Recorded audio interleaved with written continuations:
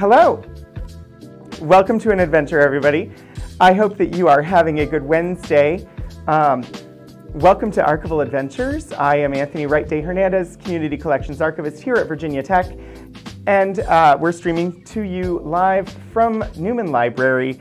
Um, I would say live from the archives, but we're not in the archives. We're up on the second floor in um, one of the uh, classroom spaces that is available for doing remote instruction.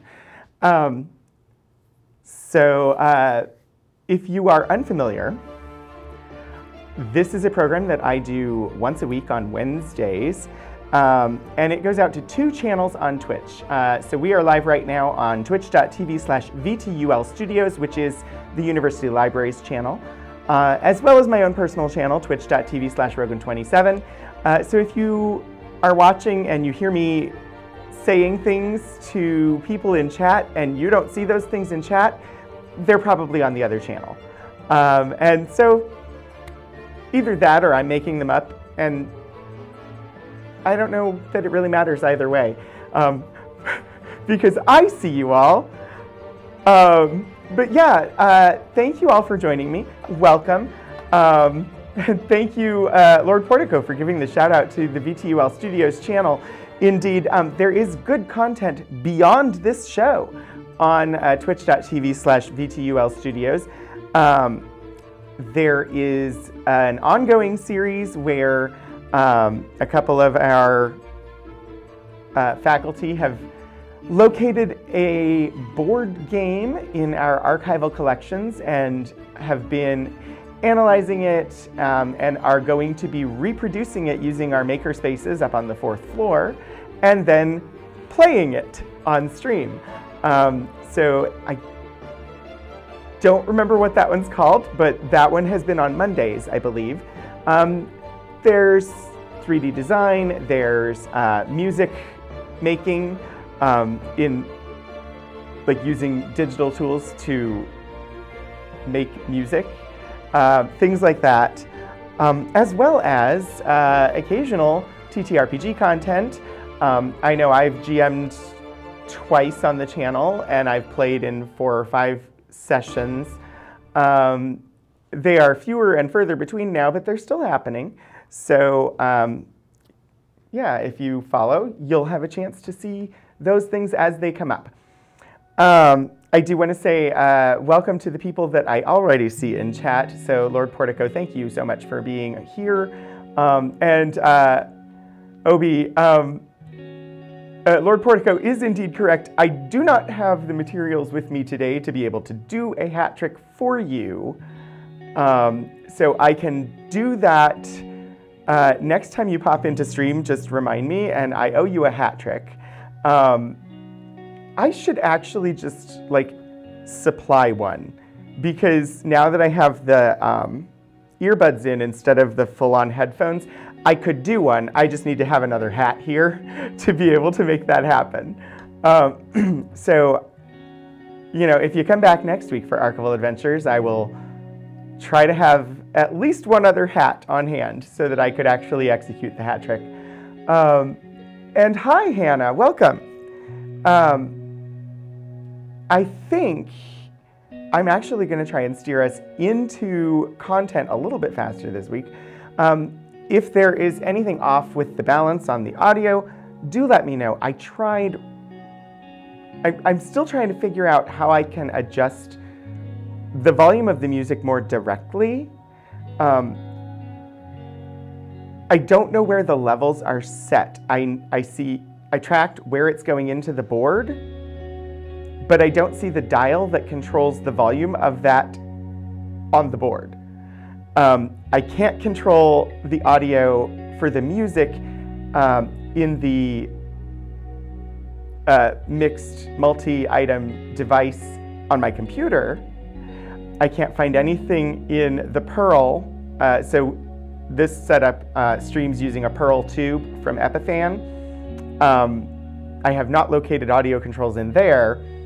So the only control I have over the audio of the music is in Pretzel Rocks.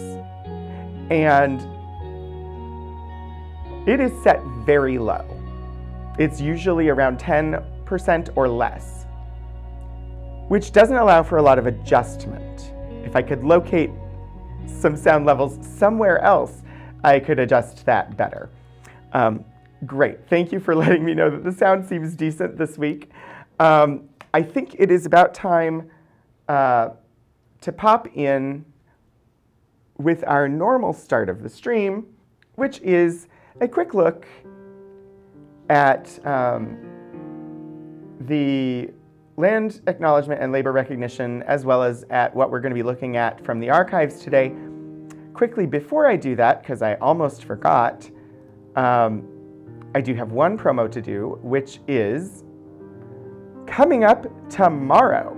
If you happen to be in the Blacksburg, Virginia area, um, and you want to stop by campus, uh, tomorrow at 5.15 p.m. Uh, from 5.15 until 7.30, here, first floor of Newman Library, in the Special Collections Reading Room, there is an open house, Women's Stories in the Archives, celebrating Women's History Month. Um, so if you happen to be in the area and you want to stop by uh, and take a look at some women's history items uh, from our collections, they will be on display in the reading room and you're welcome to drop in.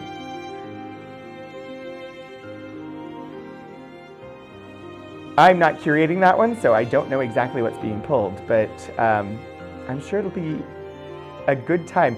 I'm also uh, still working out the final details, but I likely will be live for a couple of hours on a Saturday from the archives, actually streaming from the reading room. Um, so watch for that potentially. Uh, I'll know for certain by next week. Um, but that is coming up on April 1st um, because I'll be down there uh, with the reading room open, and I thought, might as well stream. Um, that is uh, for the 75th anniversary of WUVT, which is the uh, university's uh, radio station. So we're going to have an exhibit, and uh, the reading room is going to be open for a little bit on Saturday, uh, which is the 75th anniversary of when they started broadcasting.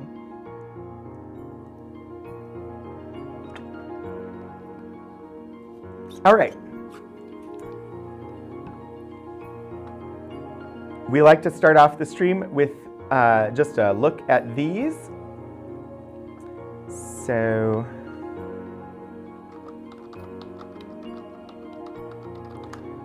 if you want to bring them up on your own screen, the links are there in the chat. Um, Virginia Tech acknowledges that we live and work on the Tutelo and Monacan people's homeland and we recognize their continued relationships with their lands and waterways.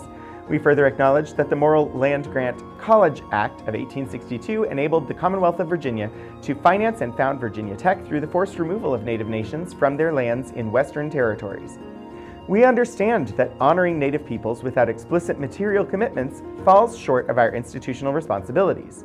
Through sustained, transparent, and meaningful engagement with the Tutelo and Monacan peoples and other Native nations, we commit to changing the trajectory of Virginia Tech's history by increasing Indigenous student, staff, and faculty recruitment and retention, diversifying course offerings, and meeting the growing needs of all Virginia tribes and supporting their sovereignty.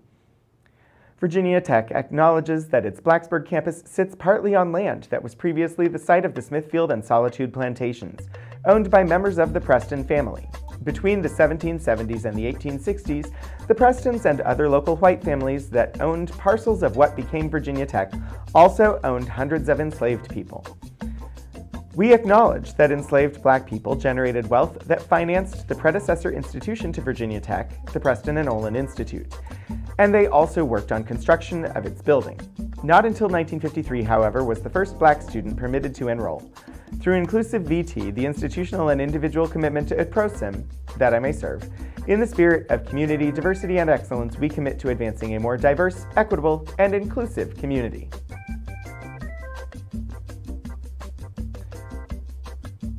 So, what we are focused on today from the archives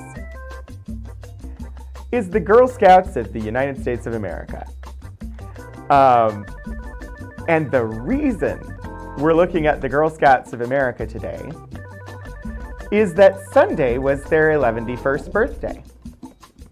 Uh, and if you're not familiar with Tolkien speak from The Lord of the Rings, um, 111st is 111th birthday. Um, and I just, when I saw that that was a thing, hang on one second, I have a thing to pull up. Um, I have it bookmarked, but of course, neglected to actually load it before stream.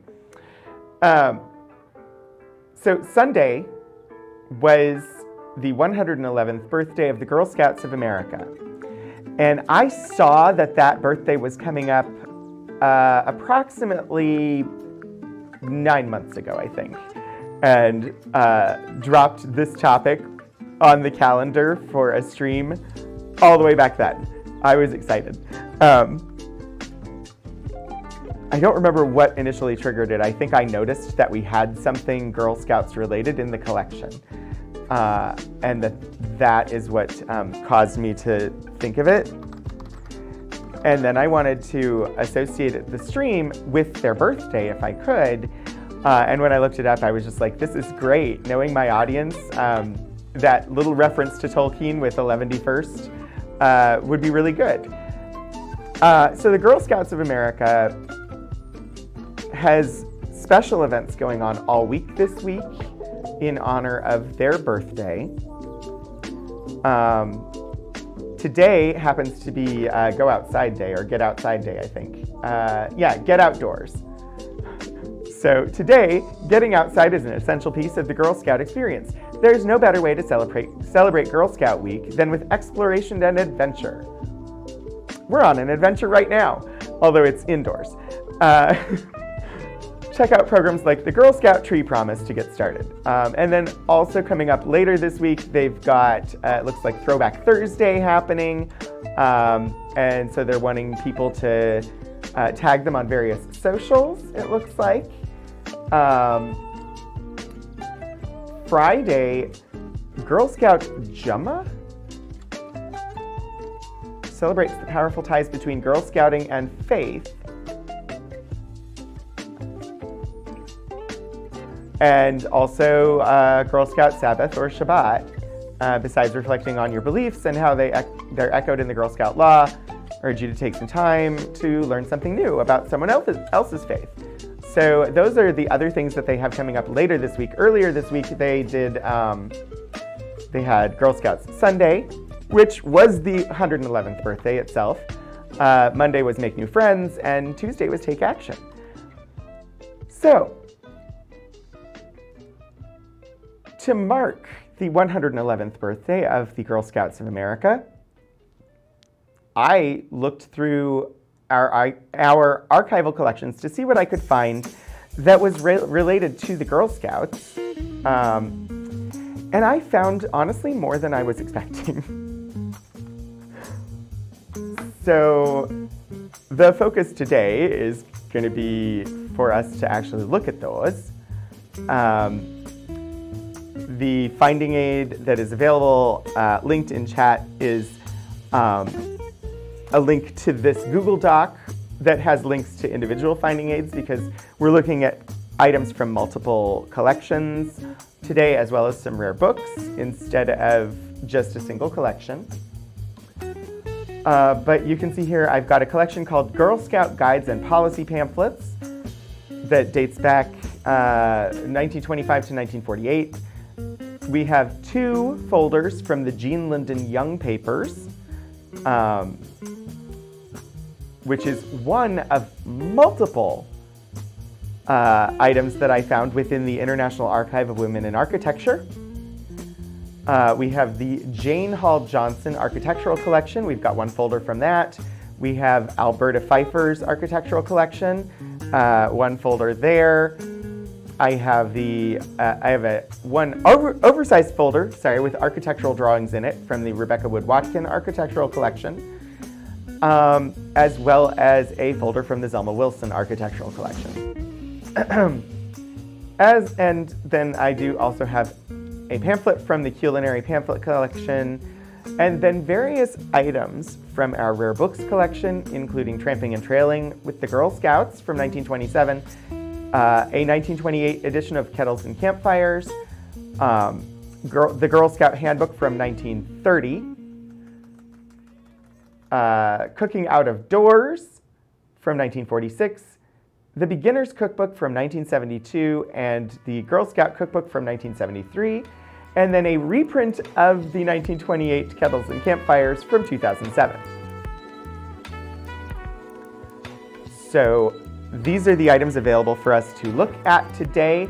If you see one of those and you're just like, oh my gosh, we need to make sure that we absolutely see this, it's wonderful, um, throw it in chat, let me know, because we typically do not get through everything that I have um, put on the cart. So if there's something you want to make sure that we get to, uh, be sure to let me know and I'll make sure that we get to it. So let's start. And um, I don't know.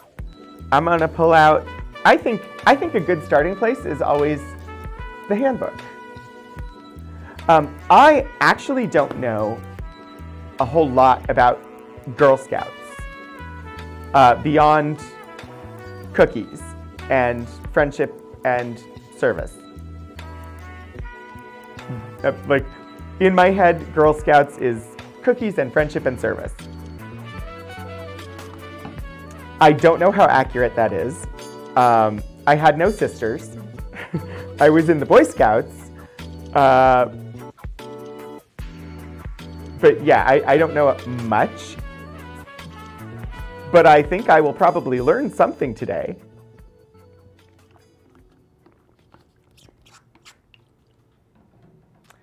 Uh, so the first item that we have to look at is the Girl Scout Handbook. And like I said, this is from 1930.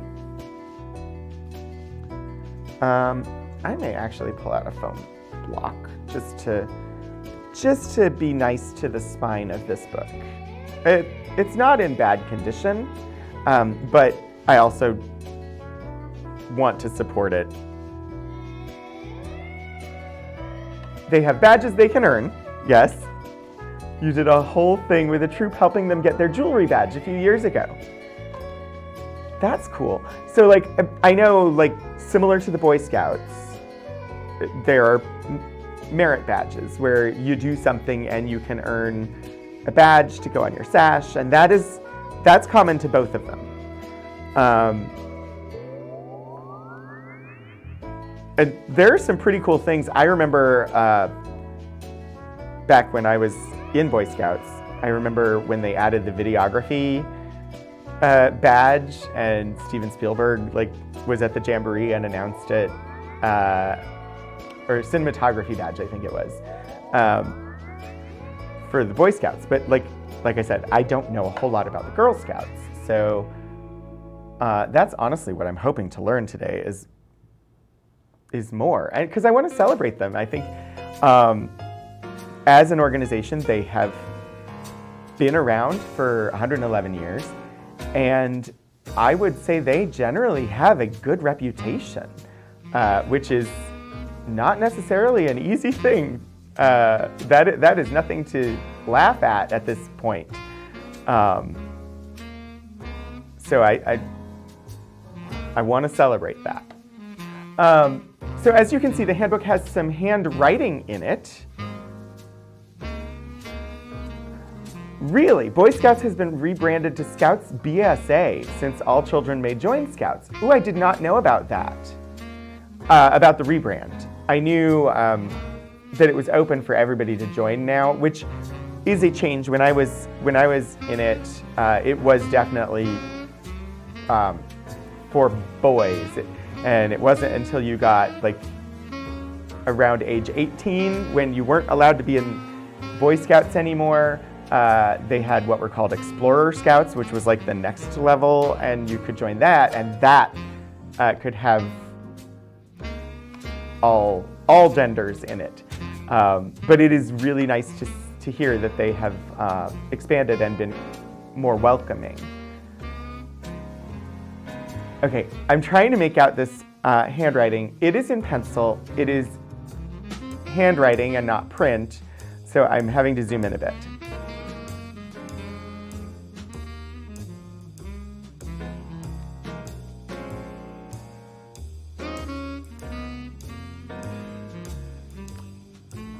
Uh, it looks like a probably like a campfire song sort of like thing.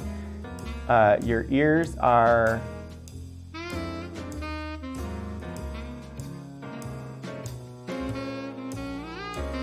I can't make out. It's broken into syllables, but I, I, I can't make it. Your ears are uh, something long. Yes, my Lord does not put on wrong.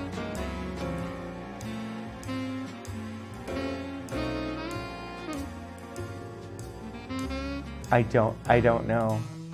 Your something are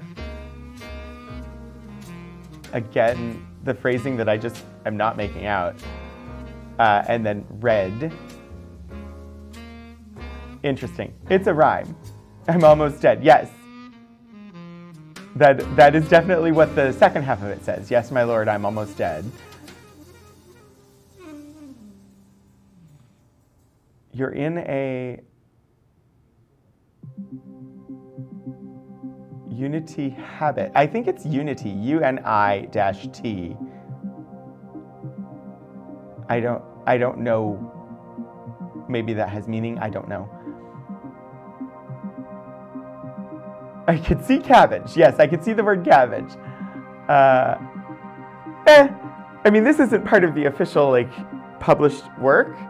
Uh, I just thought it was. I saw handwriting and I was like, we should take a, take a look at that and see if we can make out what it says. Um, the end is like, uh, and your lips can carry a song.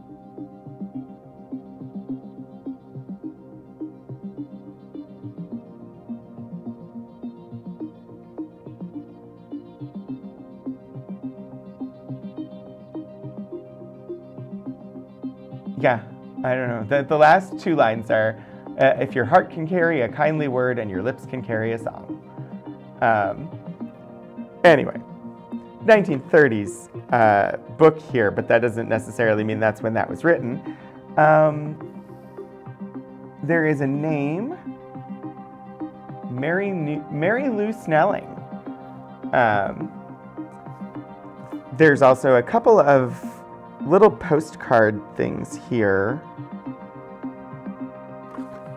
that were stuck in the front of it. Uh, this card to new leaders.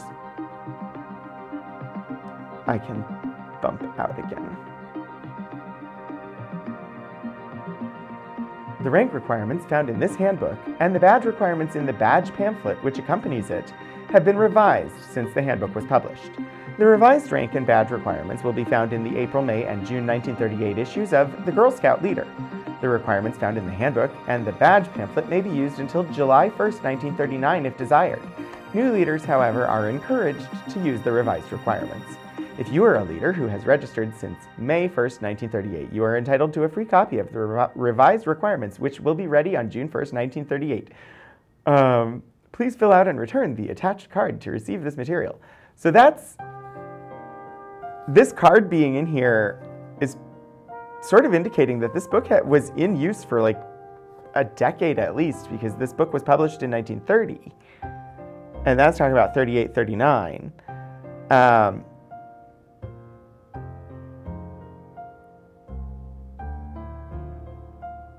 and the other one is an order form for uh, oh it's the attached card which apparently they never sent back So. um, I do like the cover of this. The, the illustration on the cover, I think, is really, really nice. Um, we, we will get to content, but hi, I'm Puddleglum. Yeah, uh, it is, um, this week was the 111th birthday of the Girl Scouts of America, so that is what we are focused on today. Um, this is the handbook from 1930, and the illustration, I presume for 1930 that these are all meant to be Girl Scouts in silhouette. And so you've got this silhouette on the left You love old book covers? Yeah. Hi, Fluidan. There was indeed um, uh, the portions of the United States that observe daylight savings time uh, shifted forward by an hour uh, this past weekend, as well as I believe the portions of Canada that observe it also shifted this past weekend. And we've got about another week and a half, and then I know uh, some portions of Europe will be changing their clocks. Ooh, Fluidan, thank you so much for the resubscription. 14 months. Sometimes I, I marvel at how long it has been. Um, so the silhouette on the left is very like flapper-esque 1920s. Uh, that slim line looks like they're in a skirt. They've got like a cloche hat. Um, the one in the middle with the walking stick, probably still in a skirt, but it almost looks like it's just baggy shorts. It looks like they've got some short hair and and just kind of more tomboyish um, out on an adventure. And then the one here, I'm uncertain. I I'm not sure what this bag is. I think it's just a backpack, but um, they're up on their toes. They're really curious. They're pointing like up at the bird or something. I love this illustration. Uh, Puddleglum, entirely possible. Those could be bloomers. But uh, 1930s rucksack, you're probably right, Obi-Wan. Um, so I, I love the illustration here. I think it's great. I think it shows, at a quick glance, it shows three very different girls, all as part of the Scouts. And that, I think, um, I think that's great. It is a dynamic illustration. I um, I wanted to use this for the like promo image, like what you saw on the starting soon screen. Um, but because of the texture of the book cover, it did not scan well at all. Um, which is why instead you ended up with uh, the logo from the inside um, as the promotional image. But um, they did not fill out the, the front part where they uh, indicated who the book belonged to. 1930, there is a dedication in the handbook to Juliette Low, their founder. In grateful acknowledgement of all that she has done for them, the American Girl Scouts dedicate this handbook. So, once we actually start getting in here, I'm actually going to grab a beanbag to hold down pages. Um,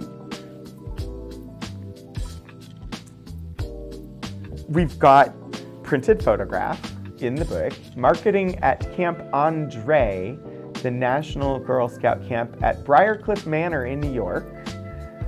Um, that looks like it's probably the sort of outfit that the middle individual on the cover was wearing.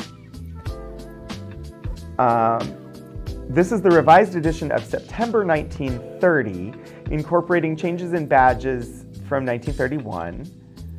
Um, and so this actual copy of the 1930 handbook was reprinted. So this is a reprint um, from January of 1932.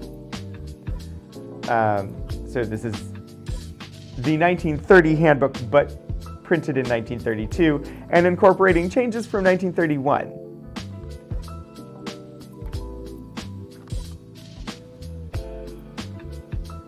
Copyright 1920 by Girl Scouts Incorporated. Revised edition, copyright 1929. All right, I think I think we should take a look at the foreword.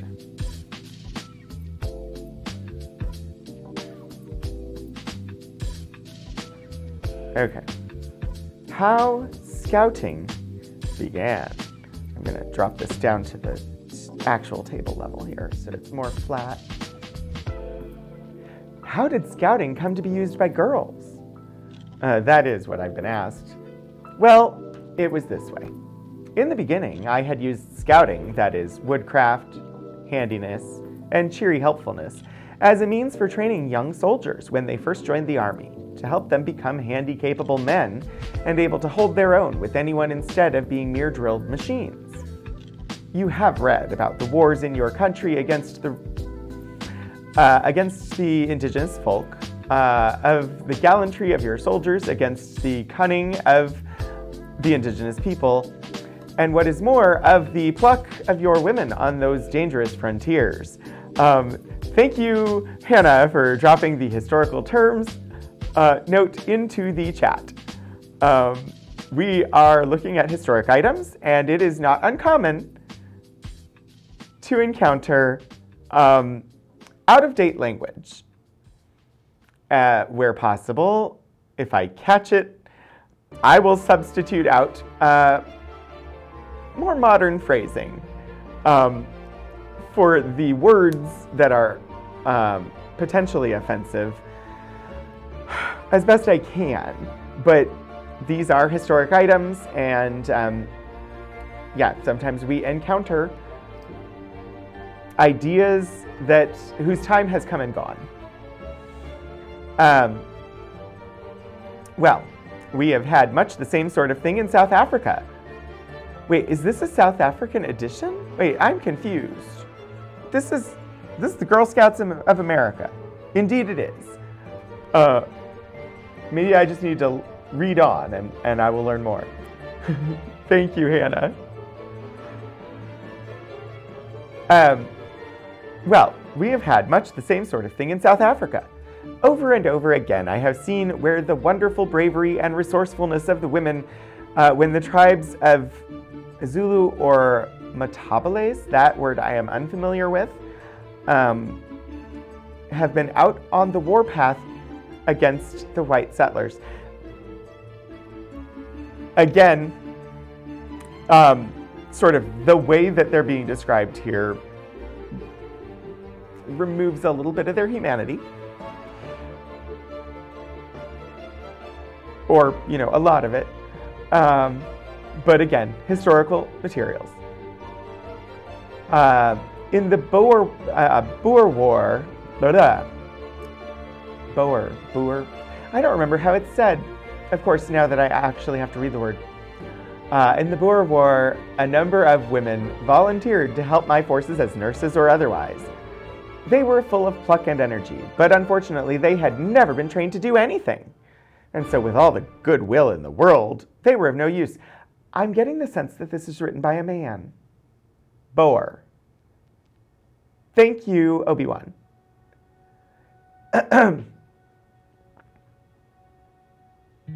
I could not help feeling how splendid it would be if one could only train them in peacetime in the same way one trained the young soldiers, that is, through scoutcraft.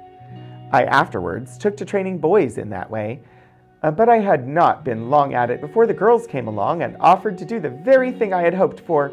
They wanted to take up scouting too, or also.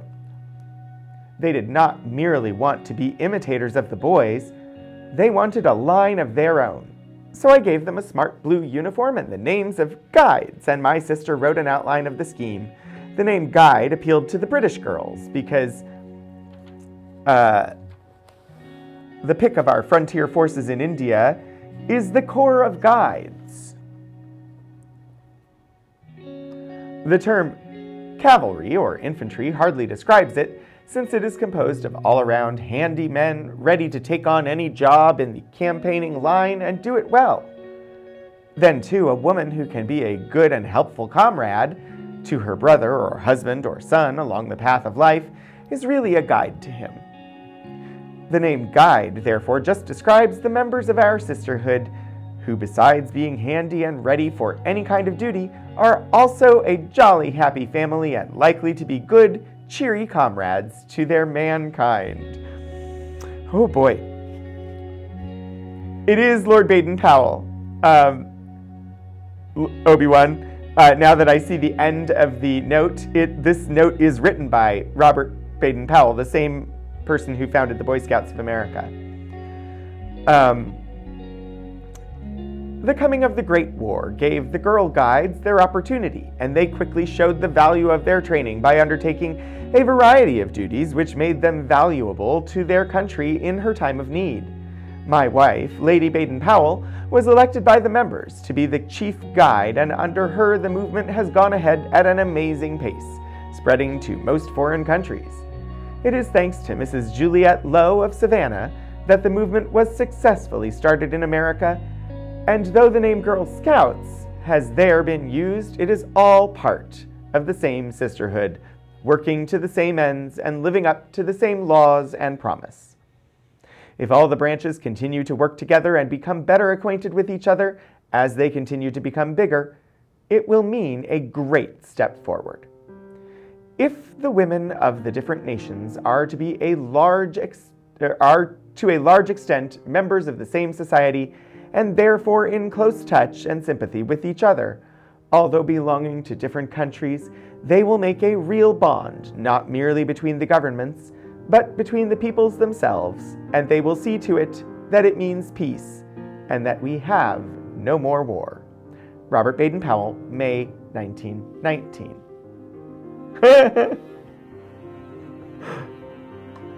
um, hey, I am here to share the items.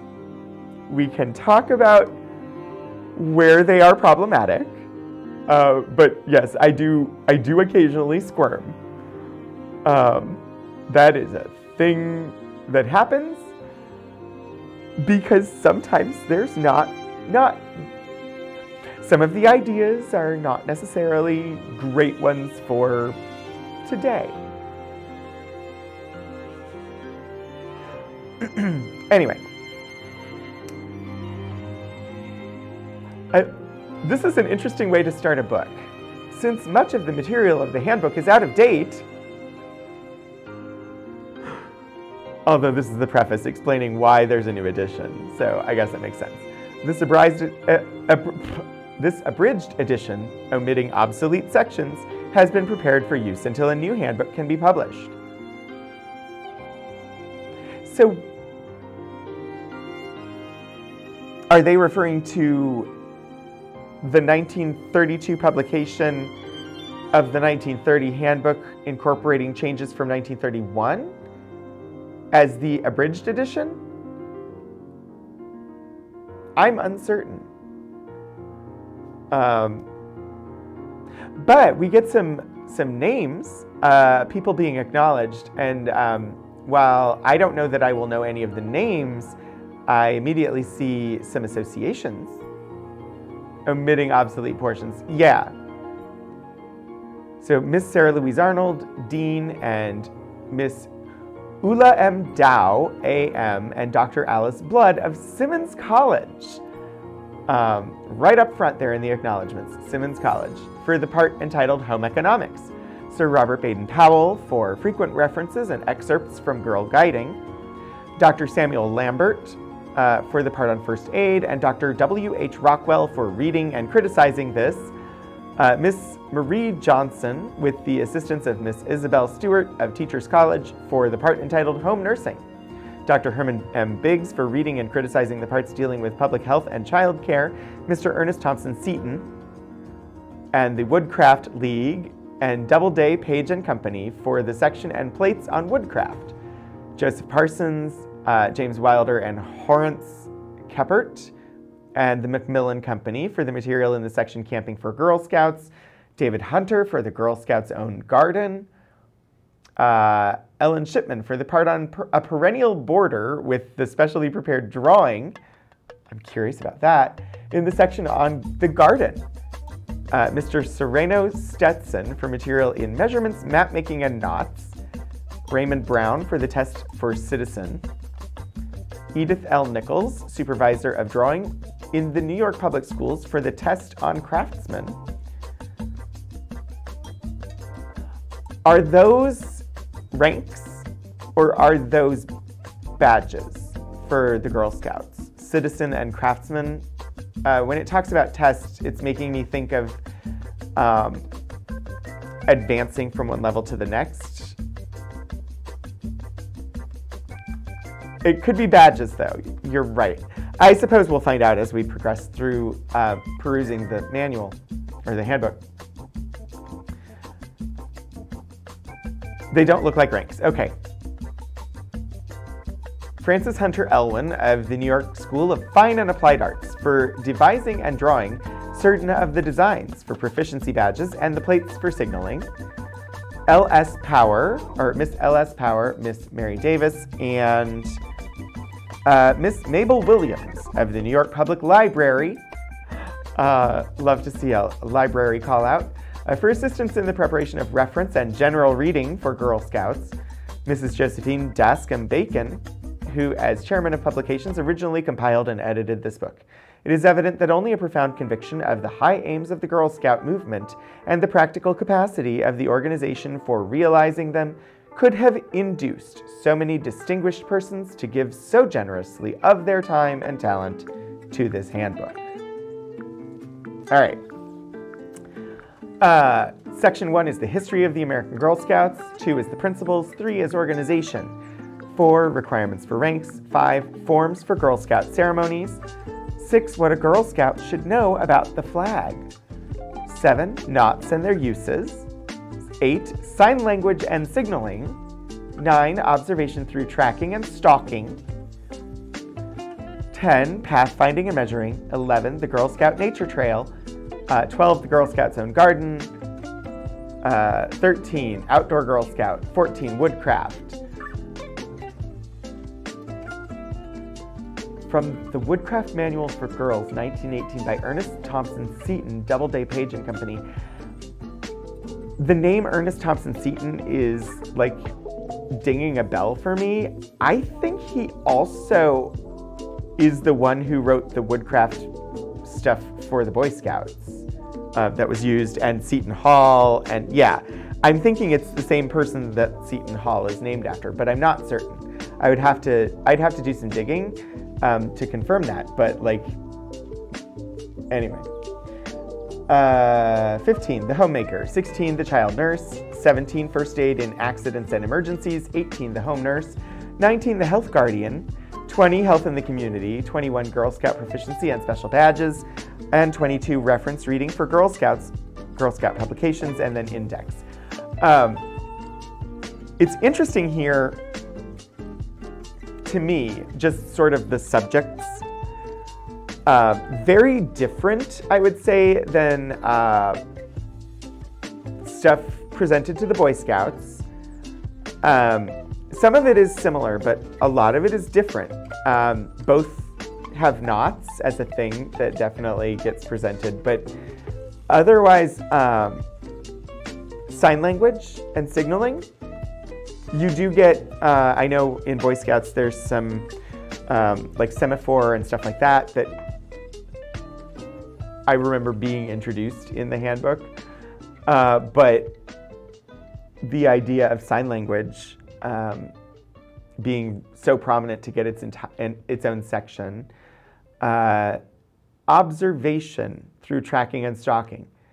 Um, pathfinding and measuring, I'm more familiar with under the heading orienteering. Um, they do get woodcraft in here, but then there's the homemaker, the child nurse, first aid uh, in accidents and emergencies, the home nurse, the health guardian, health in the community. There's like, what is that? One, two, three, four, five five sections all about health and caring for the health of others, um, as compared with uh, what I know or what I remember of Boy Scouts, where, yeah, there was a section on first aid. One. There are five sections out of 22 that are about health or first aid in some way.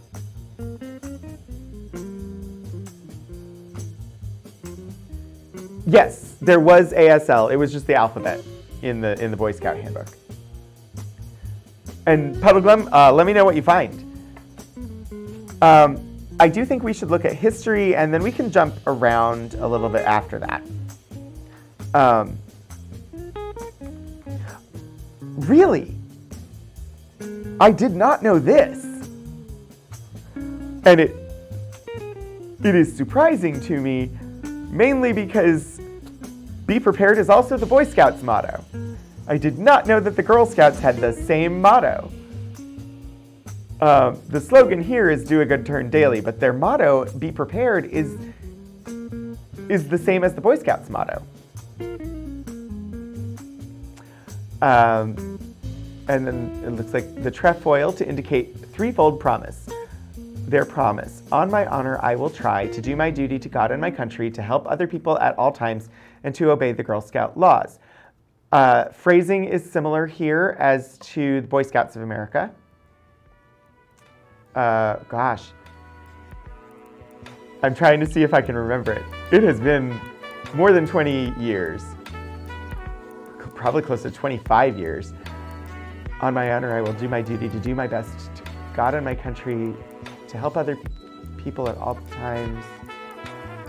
Yeah, I don't remember all of it, but that was that was basically how the Boy Scouts one started. Um, so very similar. It's also similar to the current as of 96 phrase.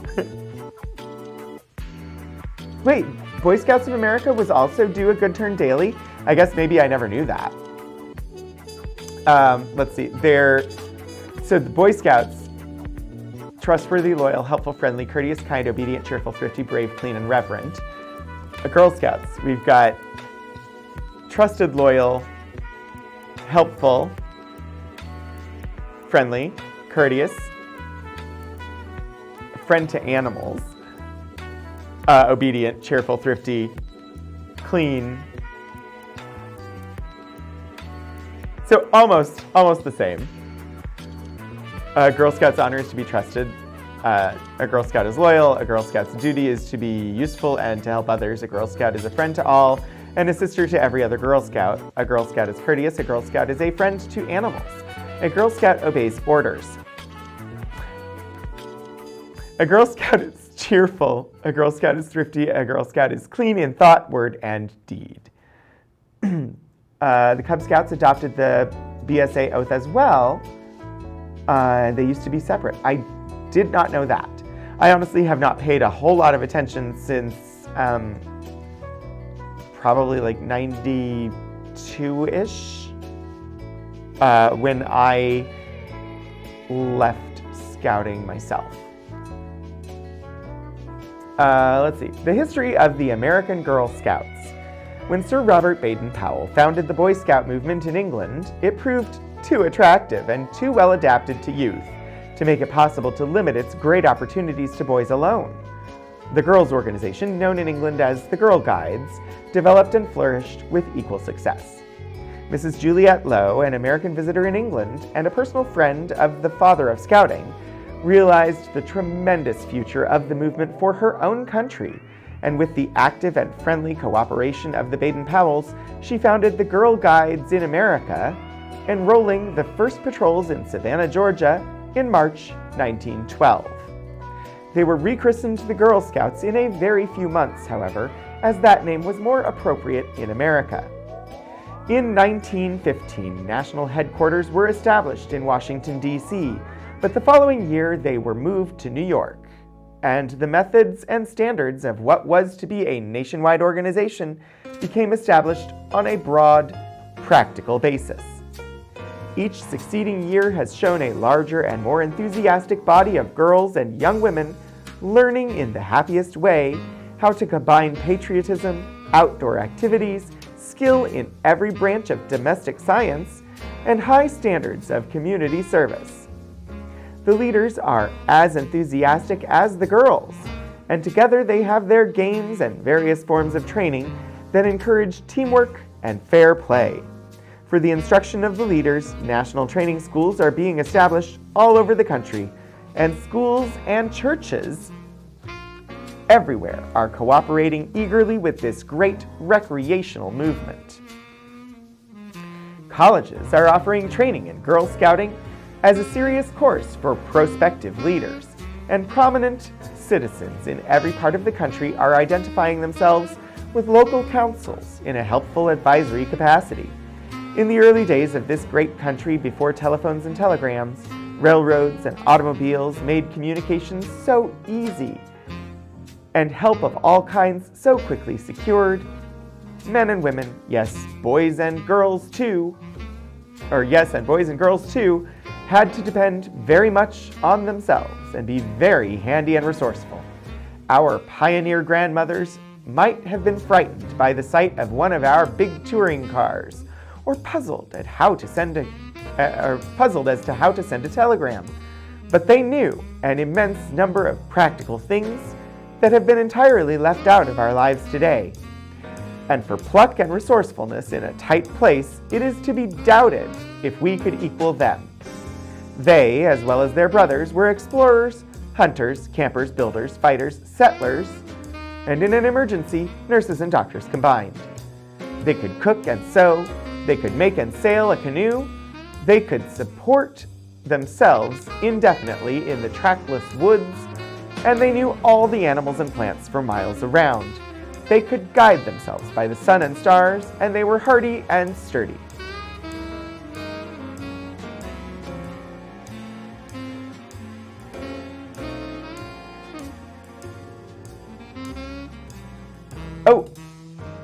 Obi-Wan has dropped it in. On my honor, I will do my best to do my duty to God and my country, to obey the scout law, to help other people at all times, and to keep myself physically strong, mentally awake, and morally straight.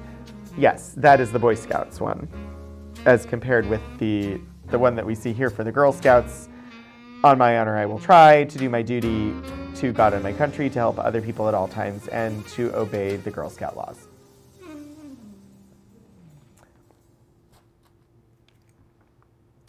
Um, the Boy Scout manual looks more oriented toward the practical how-to of ascending ranks. Yes, I, I think you are absolutely correct, Puddleglum.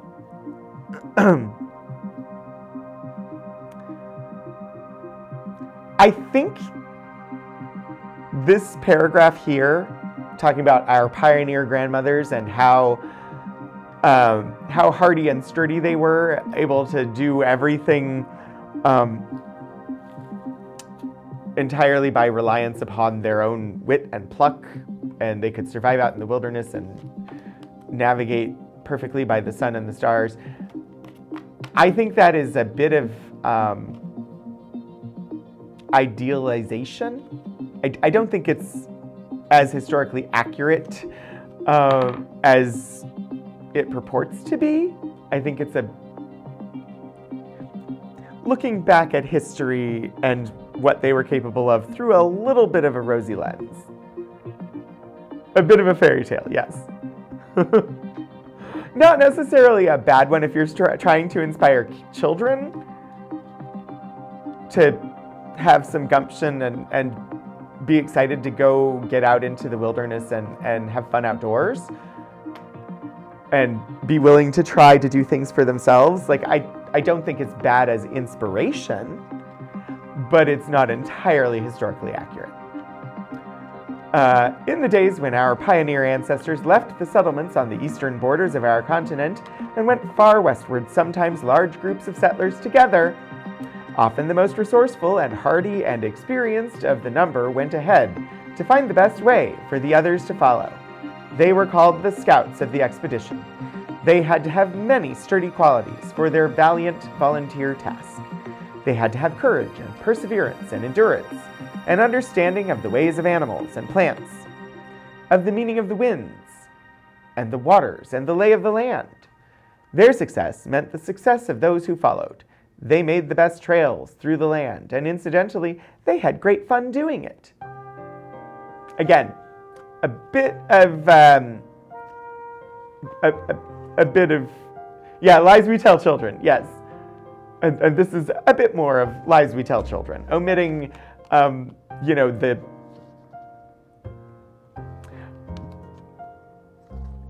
what is the phrase? Omitting the um, very real efforts at genocide that resulted from uh, the push westward um, and the diseases that not only they brought to the indigenous folk, but also that they got just from traveling out into that wilderness. Uh, so it was hard and it sucked, doesn't sell well. Um, You found an old eBay listing for a Boy Scout manual of this era. If I want to look at the table of contents. Um, sure. If you, if you want to, I can try and um, bring that up.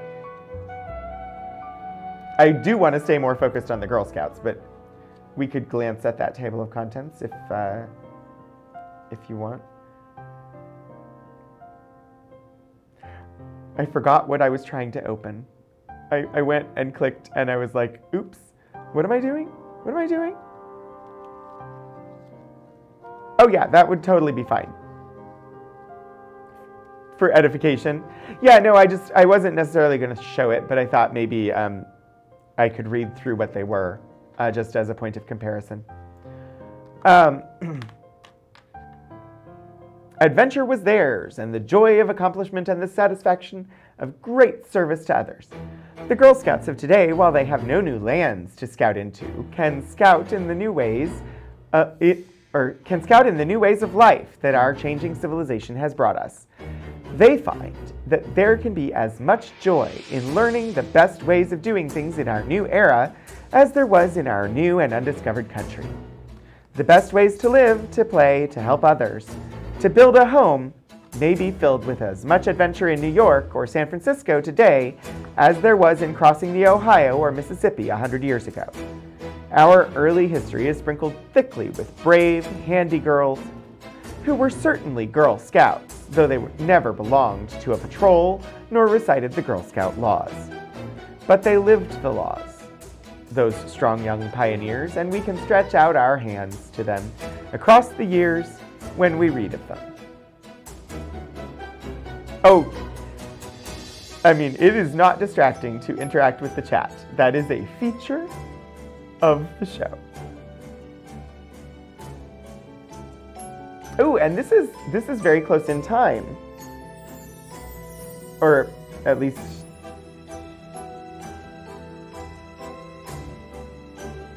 I had thought there was one close in time. There. Huh. Well, there's a 1959 handbook in uh, following the link that you. So the table of contents in the 1959 Boy Scouts handbook, as compared. It was there a 1920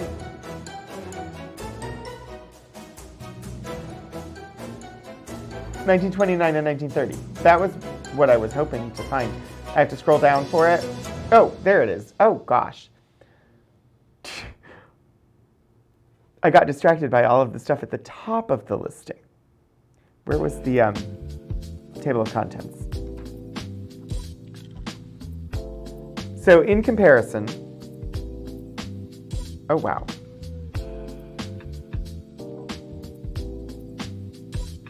Ah, I have found it. Um, this is 1932 versus the 1929 and 30, or 29 slash 30 ish uh, Boy Scouts of America handbook. The table of contents there was part one, what is scouting? Uh, part two, how to become a tenderfoot scout. Part three, how to become a second class scout. Part four, how to become a first class scout. Part 5, Merit Badge Progress. Uh, part 6, Additional Scoutcraft. And then Part 7, Appendix. Uh, so yeah, very much broken into how do I advance, how do I advance in rank um, versus this one being divided up. I'd say more topically and honestly probably better as a handbook. Um, I do see the hydrate redeem uh, Lord Portico. Thank you. I could definitely use some hydration.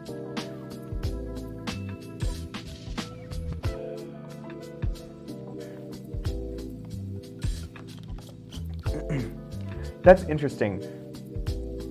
Because this is so much focused on like the, the things you're going to learn. This is the stuff that you're going to learn. Whereas the Boy Scouts handbook is reinforcing hierarchy uh, and I had it's very obvious in comparison of the two. All right, so then uh, this history, uh, the next section is Sacagawea. One of the most remarkable was a young indigenous girl who found her way over the pathless mountains, Sacagawea, the Bird Woman. In 1806, she was brought to Lewis and Clark on their expedition into the Great Northwest to act as interpreter between them and the various indigenous tribes uh, they had to encounter. Uh, from the very beginning, when she induced the hostile Shoshones to act as guides, uh, to the end of her daring journey, during which, with her papoose on her back, she led this band of men through hitherto impassable mountain ranges to the Pacific coast. This girl never faltered. Um, we may need to just drop that historical terms uh, note in again, um, just because it, as we review unedited historical documents on archival adventures, we may encounter words and phrases or content that are derogatory, harmful, or wildly inaccurate uh, now and or in their historical context. P please feel free to step away from the stream as desired for your own safety and well-being. Uh, because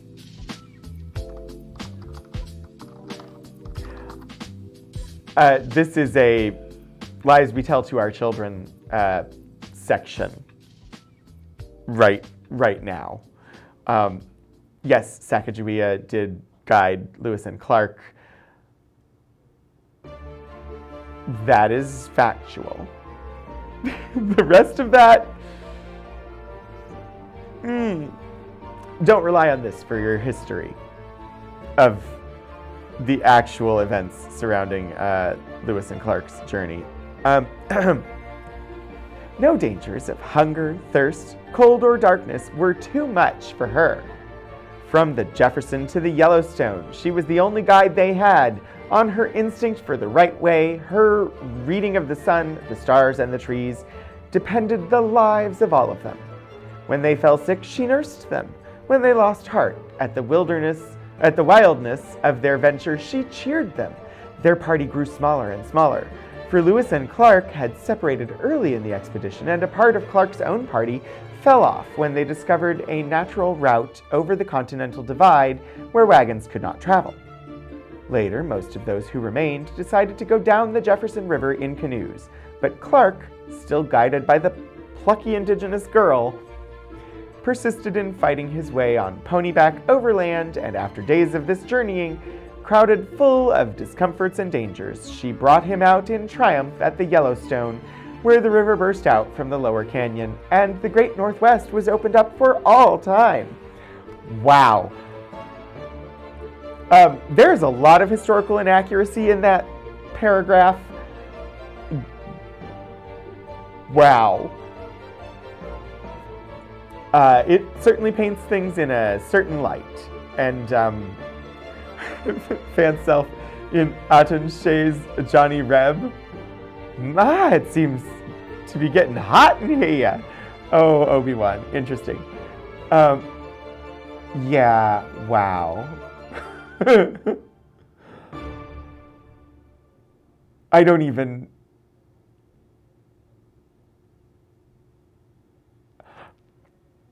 First off, reading through that, it struck me, boy, they're making it seem like Lewis and Clark certainly would never have survived their journey had they not had her along, which probably overstates her importance. Uh, but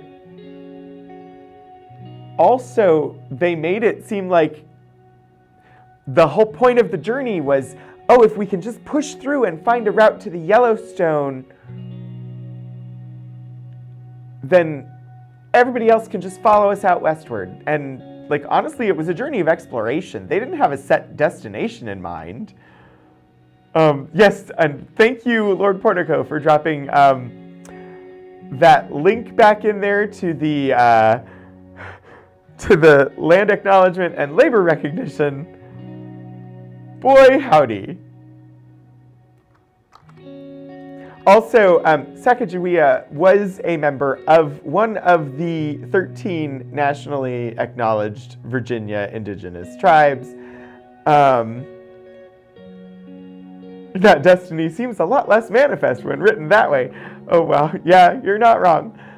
Uh, and this is very focused on her work as a guide, which makes sense um, in that this is for scouting, and they just talked about scouting is literally finding the path into the wilderness um, and then guiding other people along it, uh, that sort of like service.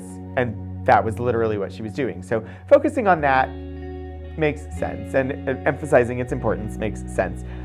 She also traveled the world later, like after this journey. She spent time in Europe. She, like, she was more than just this uncultured uh, wilderness wild girl that she's portrayed as, uh, who happened to guide these sophisticated men out into the wilderness as they broke ground for the Europeans to make their way across the continent.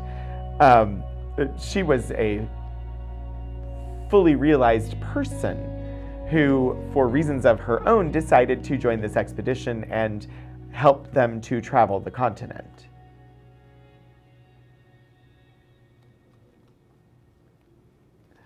Uh, okay.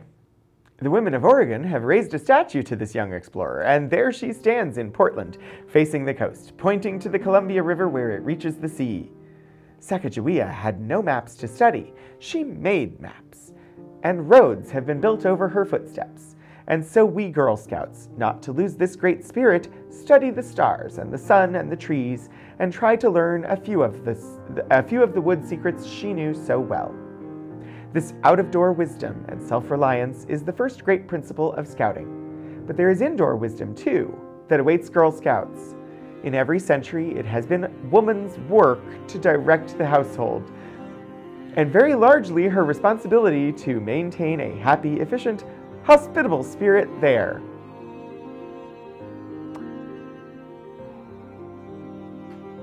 Just the whole idea of there being woman's work and man's work uh, just going to point to that historical context again, historical historical text. Is that a help gravestone or a whelp gravestone? Gotcha. That is an interesting emote. then they have a section on Louisa Alcott. In 1832, not so many years after the famous Lewis and Clark expedition, there was born a little New England girl who would very early in life have become a first class uh, Girl Scout if she had had the opportunity. Her name was Louisa Alcott, and she made that name famous all the world over by the book by which the world's girls know her, Little Women. Her father, though a brilliant man, was a very impractical one, and from her first little story to her last popular book, all her work was done for the purpose of keeping her mother and sisters in comfort. While she was waiting for the money from her stories, she, she turned carpets, trimmed hats, papered the rooms, made party dresses for her sisters, nursed anyone who was sick, at which she was particularly good, did all the homely, helpful things that neighbors and families did for each other in New England towns then. In those days, little mothers of families could not telephone specialists to help them out in emergencies. There were neither telephones nor specialists. But there were always emergencies, and the Alcott girls had to know what to put on a black and blue spot, and why the jelly failed to gel, and how to hang a skirt, and bake a cake, and iron a tablecloth. Louisa had to entertain family guests and darn the family stockings.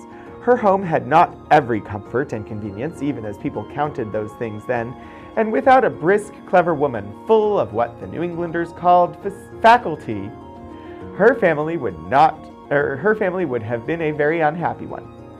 With all our modern inventions, nobody has yet invented a substitute for a good all round woman in a family. And until somebody can invent one, uh, we must continue to fight off our hat, or to, sorry, take off our hats to girls like Louisa Alcott. Imagine uh, what her feelings would have been if someone had told her that she had earned half a dozen merit badges by her knowledge of home economics and her clever writing. And let every Girl Scout who finds housework dull and feels that she is capable of bigger things remember this. The woman whose books for girls are more widely known than any such books ever written in America had to drop the pen often and often for the needle, the dishcloth, and the broom. But there was a time in the history of our country when men and women went out into the wilderness with no, uh, with no nearer neighbors than the indigenous folk Yet, with all the ideals of the New England they left behind them, girls who had to have all the endurance of the young bird woman, and yet keep up the traditions and the habits of the fine old home life of Louisa Alcott.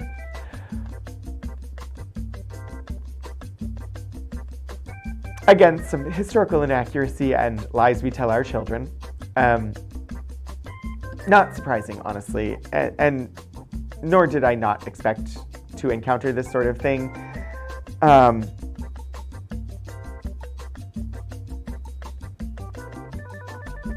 there was a comment in here that I took a moment and just had to blink. Uh, I, I don't see it immediately, but it was something about that every household needed to have a competent woman. Um, and then uh, in the last paragraph of it, um, with no nearer neighbors than the indigenous folk. Exactly, Puddleglum, but masculine people also need to know how to manage a home. You are not wrong. I'm just going to control C historical terms to have on hand for the rest of the stream. Um, uh, this whole bit here about women who went out into the wilderness with no nearer neighbors than the indigenous folk. That was honestly probably how they thought about it at the time, too. Was like, oh gosh, there are no neighbors out here. The indigenous folk that were already here when I decided to walk over here and say that this land was mine don't count. Uh, but had they just taken a slightly different approach and actually acknowledged that those were fully realized people who actually were very familiar with the area, they would have realized they had neighbors, and if they were nice to them, those neighbors would be perfectly willing to assist them. But no, that's not uh, who the um, that's not who the colonizers were. Um, okay, Anna Shaw. I don't know. Uh, I I don't know who Anna Shaw is. So um, I'm just going to preface this by saying I'm sure it's full of historical inaccuracy and uh, lies we tell our children. I just won't necessarily know what they are. One of, the one of these pioneer girls, who certainly would have been a patrol leader, was Anna Shaw. In 1859, a 12 year old girl with her mother and four other children, she traveled in a rough cart full of bedding and provisions into the Michigan woods where they took up a claim, settling down into a log cabin whose only furniture was a fireplace of wood and stones. She and her brothers floored this cabin with lumber from a mill and actually made partitions, an attic door, and windows. They planted potatoes and corn by chopping up the sod, putting seed under it, and leaving it to nature, who rewarded them by giving them the best corn and potatoes Dr. Shaw ever ate, she says in her autobiography for she became a preacher and a physician, a lecturer and organizer. This sturdy little Girl Scout, even though she had to educate herself mostly. They papered the cabin walls with, old mag- with the old magazines after they had read them, uh, and went over. Blah. They papered the cabin walls with the old magazines after they had read them once, and went all over them in this fashion later. So eagerly did she devour the few books sent them from the East that when she entered college years later, she passed her examinations on what she remembered of them. They lived on what they raised from the land the pigs they brought in uh, the wagon with them, fish caught with wires out of an old hoop skirt, and cornmeal brought from the nearest mill 20 miles away. Ox teams were the only means of getting about. Anna and her brothers made what furniture they used bunks, tables, stools, and a settle uh, she learned to cut trees and heart logs like a man. After a trying season of carrying all the water used in the household from a distant creek which froze in the winter so that they had to melt the ice, they finally dug a well. First, they went as far as they could with spades, then handed buckets of earth to each other, standing on a ledge halfway down. Then, when it was deep enough, they lined it with slabs of wood. It was so well made that the family used it for 12 years. Um, we may need uh, to give some pun points to the 1932 Girl Scouts of America handbook because they dug a well and it was well made. Um, wild beasts prowled around them. Indians terrified them by sudden visits. Uh, sorry, I missed that. Um, historical terms. Indigenous folk uh, terrified them by sudden visits. The climate was rigorous, amusements and leisure. Uh, the climate was rigorous, amusements and leisure scanty. But this brave, handy girl met every job that came to her with a good heart and a smile. She learned by doing. The tests and sports which we earn badges for for mastering were life's ordinary problems to her, and very practical ones. She never knew it, but surely she was a real Girl Scout. Our British Scout sisters call themselves Girl Guides, and here is the thrilling reason for this title, given by Chief Scout and founder of the whole big band that is spreading round the world today, as so many of Old England's great ideas have spread. Uh, and then we have a section on why guides that harkens back to stuff that we read earlier. Uh, just the part where we just left off was talking about the great ideas from old England that had spread around the world. Oh boy, there's a lot to unpack in that statement.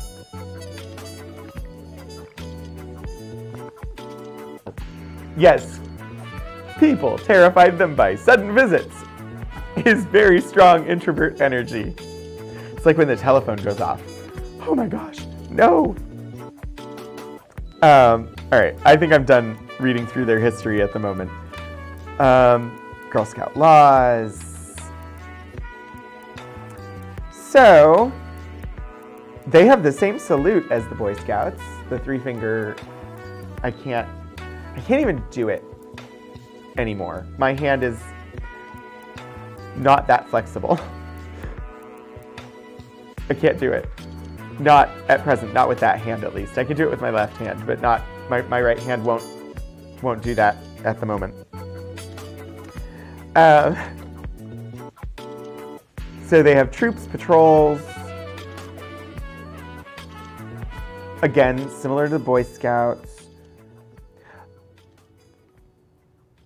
They have patrol leader, court of honor, captain, lieutenants, lone Girl Scouts, girls living in rural communities who do not have an opportunity to meet with a sufficient number of girls to form a troop, or who, for some uh, good reason, are unable to attend troop meetings.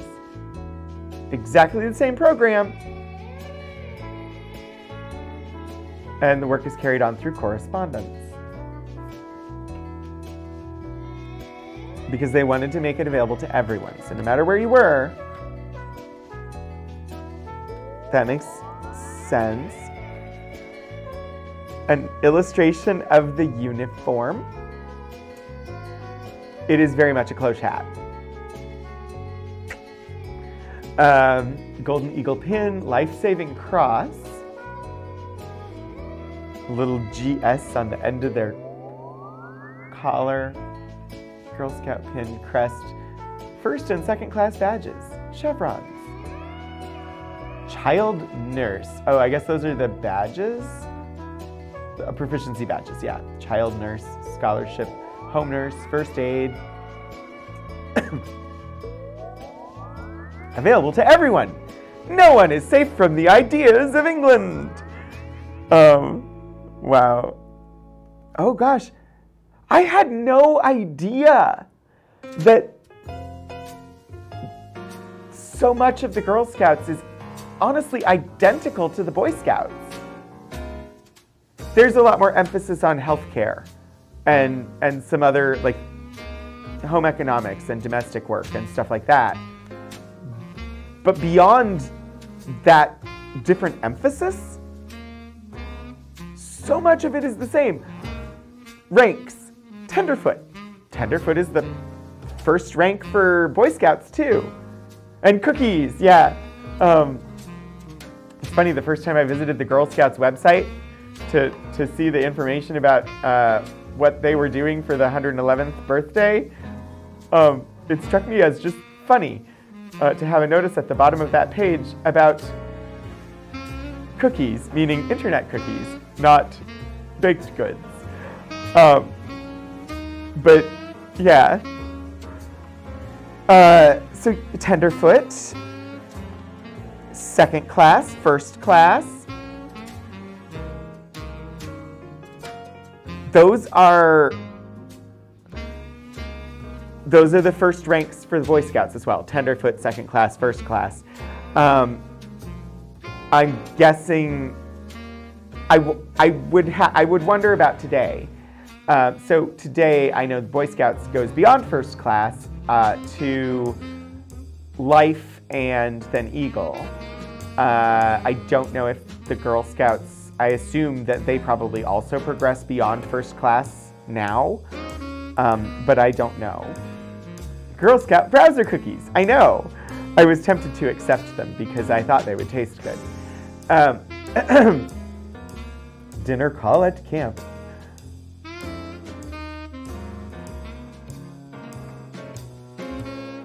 Um, there's a lot of underlying in what a girl should know about, or what a Girl Scout should know about the flag. We got some songs.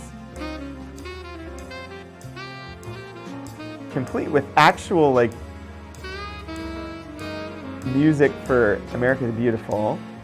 Knots and their uses. Do not sell my personal information. Indeed, indeed. Um, that said, we had a old address in here too. We find them everywhere. Okay, this, these pages on knots could have come from my 1990s Boy Scout manual. They look identical.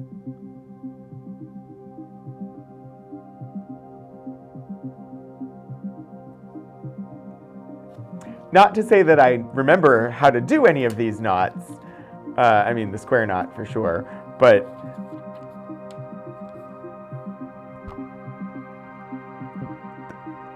this could have, like, literally, these pages could have been copied from here to there, except for the heading at the top that says Scouting for Girls. I had no idea that A, it was founded by the same person, and B, the bones of it are identical. I had no idea. Like, why do we even have two different organizations at this point? Um, ooh, picture writing. This is interesting. I saw this. I was flipping through pages and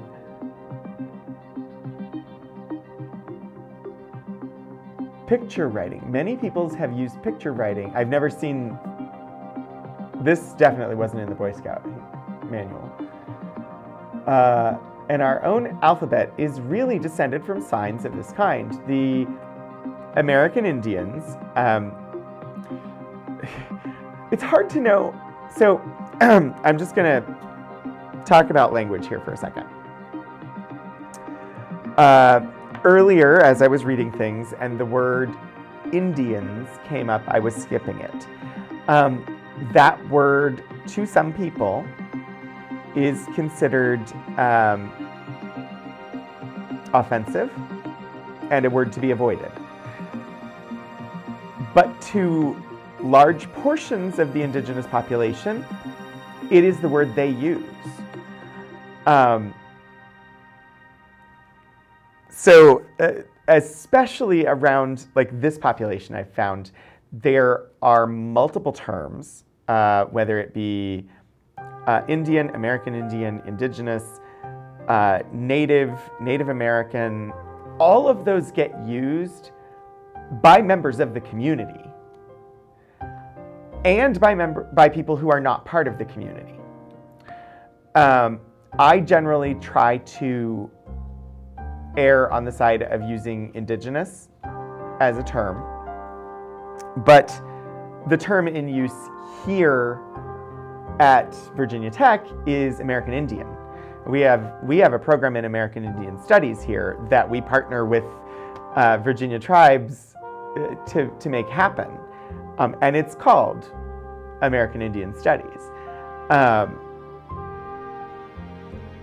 so, uh, which terms are offensive and which are problematic uh, is debatable, sometimes depends on the person. Um, I'd say generally, if they are not being used in a derogatory way, um, there's a good chance that you're okay. I try to err on the side of indigenous because it uh, seems to be a more broadly acceptable and less problematic term. Uh, but I just thought, since here we are encountering another form in this same book, uh, that it was worth addressing. Uh, the American Indians used picture writing to a considerable extent. Of course, the symbols used varied in different parts of the country. For example, pic the picture for home would differ materially depending upon whether the indigenous person uh, lived in a bark wigwam, skin teepee, adobe pueblo, plank house, earth lodge, or grass hut. Certain symbols, however, would be almost universally understood. For example, those for sun, man, lightning, bird, bear. Girl Scouts can work out their own picture writing. Always remembering that the picture used should be as simple and easily understood as possible. Um, we actually came across this, not necessarily picture writing, but um, in a stream last year, the topic of written language came up, and um, we were poking into it on. Wait, SCP symbols? Uh, can you please expand that abbreviation because my brain isn't parsing it. Um, the uh, so we were at some point. I don't remember why, and I don't remember how it came up. Um, but we looked at oh, it was calligraphy and writing, and so we were talking about writing systems and letters and alphabets and stuff like that. And the topic of um, writing systems that had been developed in the Americas came up. And there are no documented alphabets from North America. Like, none. Uh, there's, I think we found one or two in South America or Central America, but no form of written language in North America, but I would argue there is because they're talking about the picture writing, which was totally a thing, and we didn't talk about it in that stream on calligraphy and lettering. They just they wrote with pictures, not with an alphabet. So it was more like hieroglyphics used by like Egypt. Um, but yeah, totally like there was written communication, it just wasn't alphabetical in nature. Um, okay, yeah, so I don't know what SCP is. Sign talk or gesture language, so sign language. Um, and then they've got semaphore. Secure, contain, protect a horror setting centered around the SCP Foundation, which contains SCPs or anomalies in its walls. Huh?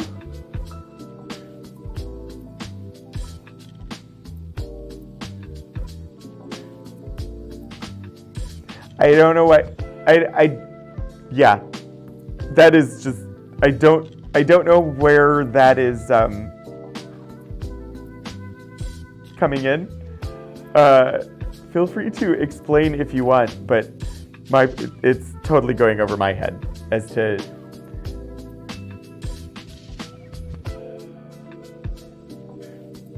what symbols you were seeing in the book.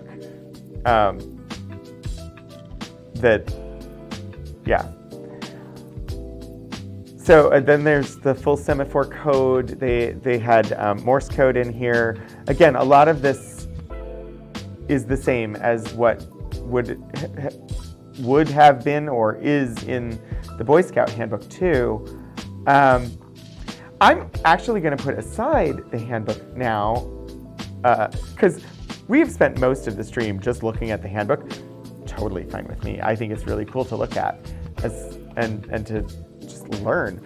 But um, it's a joke. One of the parts of the lore is that people who work in the foundation will leave each other symbols denoting dangers of whatever SCP is in a given room. Okay. It, it totally went over my head. I had no idea what you were what you were referencing. Um, as always, I've spent most of the stream on very little of what I pulled. Um, I am not surprised by this, but let's start looking at some stuff um, quickly.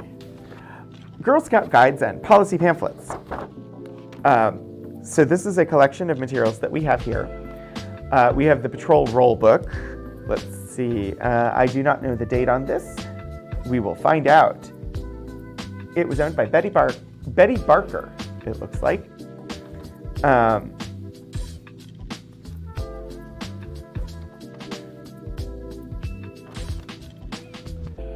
got some attendance 1925 and 1926. I don't see what troop this is for. And we just have that one list of roles for 1925 to 1926. Um, paints.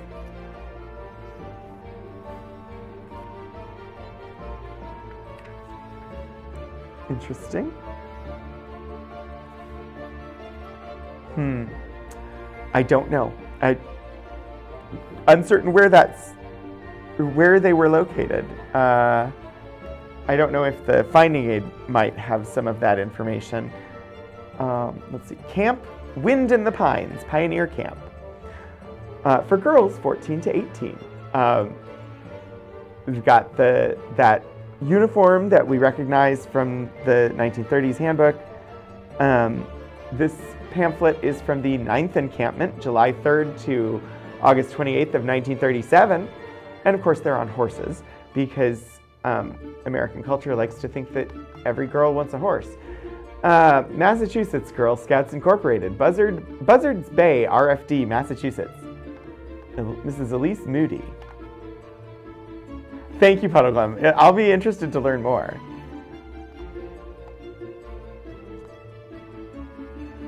So this is a pamphlet uh, for a Girl Scout camp, it looks like. Camp Wind in the Pines.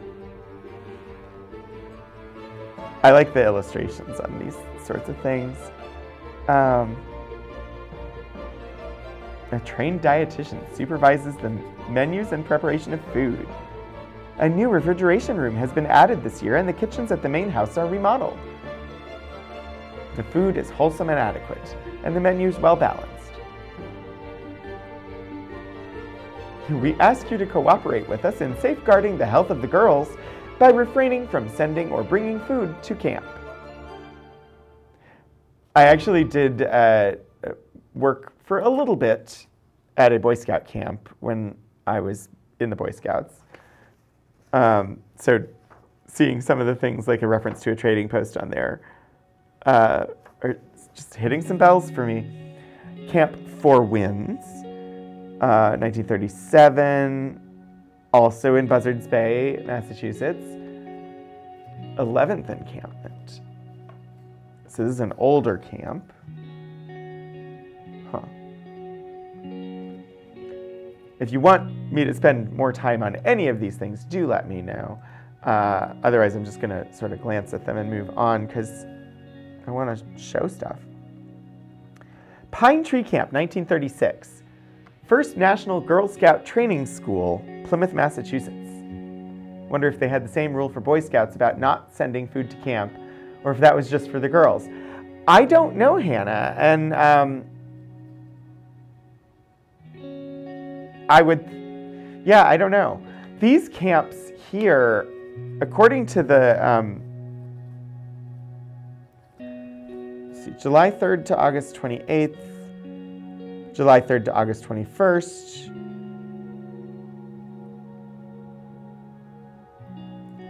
And the way they're presented, it seems like they expected the girls to be there that entire time, which is basically two months.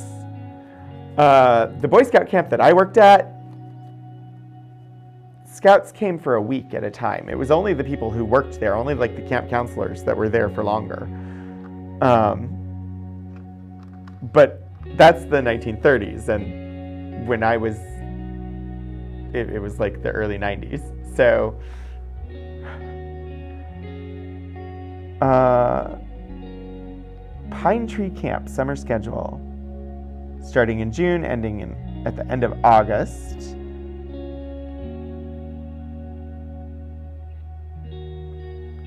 Got some bios on camp counselors.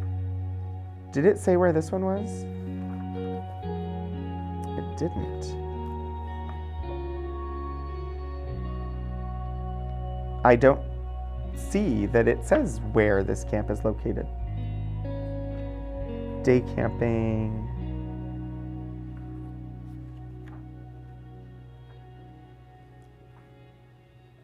I'm guessing Massachusetts. Plymouth, Massachusetts. I think all of these, I think this whole collection is like Massachusetts. Um, interesting. The Blue Book of Girl Scout Policies and Procedures. So, what is the Blue Book?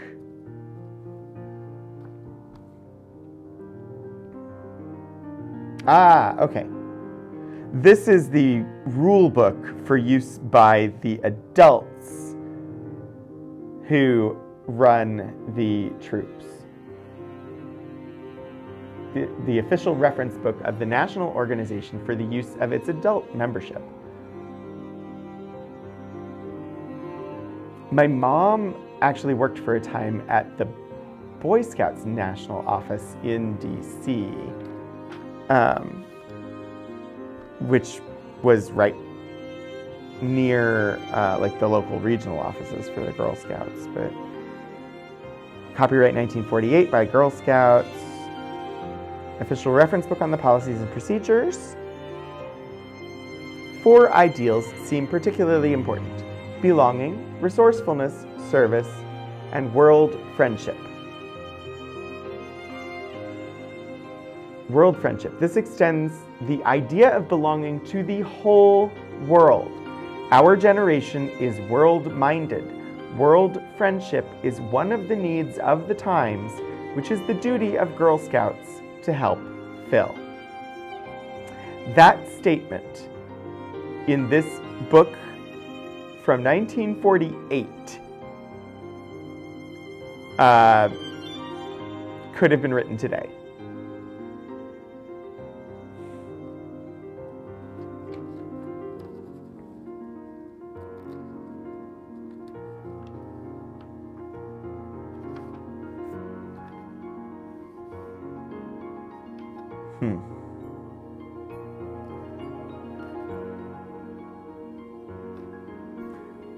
You know, might might have gotten a, a more succinct history had we read the one in here instead of the one in the in the in the book for the actual like uh, scouts. But this is what what our adventures are like. I didn't know this book was even here because we discover things together. I, I don't know what's in these collections until I open them up on stream usually. Um, oh, yes. Okay, so this is, I want to make sure that we look at at least one, hopefully more than one, of these architecture collections because when I went searching, I was like, oh, it makes perfect sense, but it never occurred to me that there would be a lot of like Girl Scout related things in the International Archive of Women in Architecture. And there were, and so like this first one here, this is from the uh, Jean Young Architectural Collection, or the Jean Young uh, Papers, Jean Linden Young Papers. Um, and so uh, this folder just says um, Girl Scout Silver Totem Award Design. So again, we're gonna get some indigenous imagery. It may or may not be accurate, uh, but this is accurate to Girl Scouts of America um, in that this award incorporating a totem was designed for Girl Scouts by uh, Jean Linden Young. Um, I do not know if this was for national use or if this was for um, local use. Let me see if I can find out. This is, uh, let's see, a letter from 1972. Dear Jean, sorry it has been over 10 days since we talked. I have made many experiments and think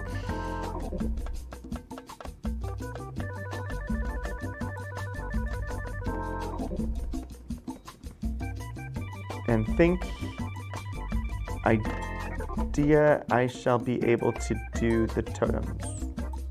I think that's I do not know that word for sure. But um, however, the price um, will have to be increased to $20. If you still want me to do them at this price, let me know as soon as possible, as I want to make them slowly, uh, not under pressure. Now. Wow. And no, that makes sense in context. I can see it, but also I definitely didn't see it before. Um, so let's see. Dear Sarah, we are delighted to hear that you feel you have found a method for producing the Totem Award sculptures, which will work more readily.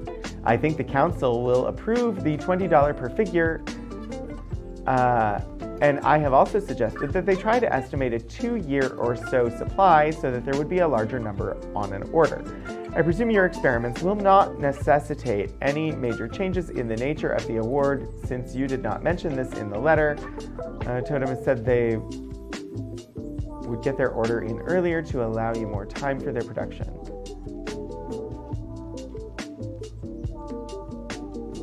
Hmm. Enclosed with this letter are some copies of articles which have appeared on the receiving of the award, which we thought you might like to see. We feel it is a unique award and is very well received. A copy of your letter, as well as this one, is being forwarded to Totem Council, and I am sure you will hear from them soon. My apologies for not getting an answer to you sooner, but since receiving your letter, I've had an, uh, yeah, some medical issues. Let's see. Copy so this was um, apparently Seattle. So we've got some. I'm trying to see if the article is here talking about what this award was for. And totem imagery is not uncommon in the Seattle area, so that, let's see. Totem sculpture, highest recognition presented to persons in the area who have given far reaching service of lasting benefit to the Girl Scouts. The area within the Totem Council of Girl Scouts includes 10 counties of Northwest Washington. So the Totem Council would be like, um, you've got patrols, which are just the girls, like subunits of troops, which are like local organization, and then above the troops is the council, um, which can span a, a large geographic area uh, covering multiple municipalities, and and um, so the apparently the Seattle area one, at least in '72, was called the Totem Council.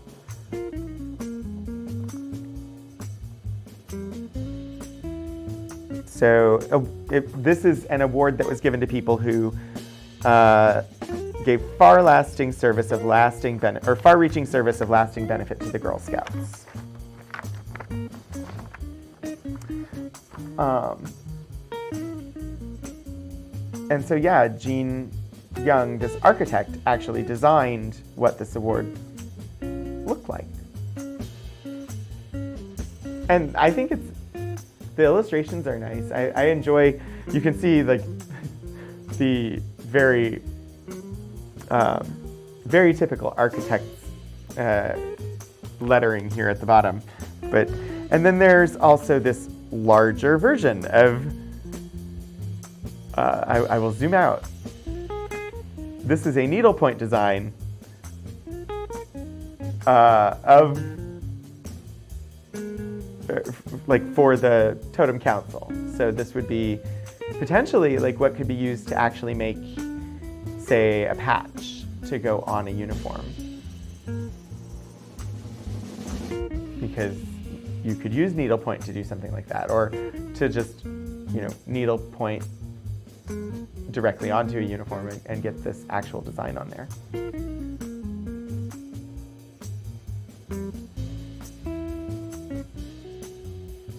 I think it's cool.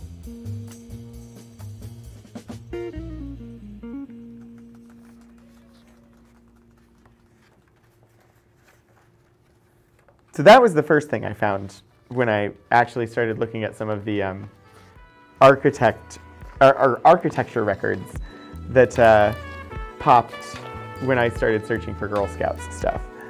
Um, oh gosh, we didn't even get to recipes. I don't have anything specifically about Girl Scout cookies. Um, I've got various campgrounds that were designed. So a lot of the architecture stuff ends up being like they did landscape design for a Girl Scout camp or something like that. Um, which would have been really interesting if I had the time to dig into them. But like I said, I was really surprised by how much I came across. Um, we do have this Campbell's Cooking with a Pur- Cooking with a Purpose for Girl Scouts. Um, most of what we have related to the Girl Scouts is mostly because we have a history of food and drink collection. Most of these items we have because they have something associated with recipes or uh, cooking skills or stuff like that. Um, So let's see, uh, maybe one recipe or so. No time for recipes. I know, I know. Let's see, we have soups under special, shepherdess's pie, after school snacks that count, perk up chili pronto, sunset sipper. When is this book from? Oh, I don't know. Because it wasn't cataloged individually as part of the collection. Looks like 1974. June of 1974.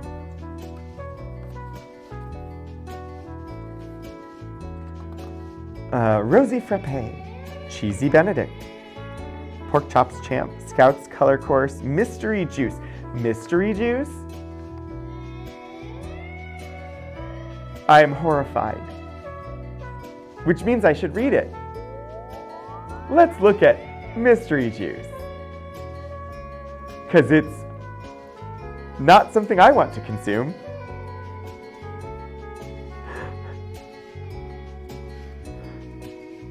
Two cups chilled V8 cocktail vegetable juice, a half a cup chilled orange grapefruit juice, one teaspoon of brown sugar, and a generous dash of allspice. Combine the ingredients, serve in chilled glasses. Mix four servings. Um, I'm going to say no thank you on that one. These seem to be cursed in the way that a lot of 70s recipe books are cursed. uh, you're not wrong. Also, um, 16-bit Eric, hi, welcome. Thank you so much for bringing the whimsies by. I hope that your uh, stream went well. Um, we have been uh, hanging out today looking at materials from the archives. And today's focus is the Girl Scouts of America because they turned 111 years old this week. And so I dug through the archives and found everything I could about the Girl Scouts of America.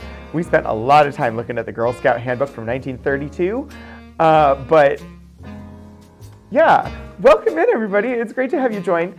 Um, if anybody here is not already following 16-Bit Eric, um, Eric is a wonderful streamer who uh, is very, very knowledgeable about tabletop role-playing games um, and routinely talks about that, but then also just uh, brings up various topics, knows a lot about a lot of stuff. Um, I honestly have learned more about Buddhism from watching his streams than uh, I had ever known before, and um, definitely worth a follow. It's a great community and uh, often joins us here. So uh, thank you again, uh, Eric, and welcome in everybody from Eric's stream. Um, we are technically over time. I'm just sort of speed running through a couple of the things that we pulled, and then we'll find somewhere to go um, because I'm going to have to pack up and head home. But um, we, we, we're presently looking at Campbell's Cooking with a Purpose uh, for Girl Scouts. It's a, a cookbook, June of 1974, um, from Campbell's for Girl Scouts, and we found this recipe, mystery juice, that is, in my opinion, somewhat terrifying because it is V8 cocktail vegetable juice with some orange grapefruit juice, brown sugar, and allspice. which just does not sound, it doesn't sound like a good time to me. Other people, you know, somebody liked it or it wouldn't be in here, right? Uh, tuna mac togetherness, party pot roast, babysitter's special, five brown and served sausage links sliced, uh, one can of Franco-American SpaghettiOs in tomato and cheese sauce, and half a cup of cooked corn. I could see those on the plate near one another, but like together in a dish seems weird.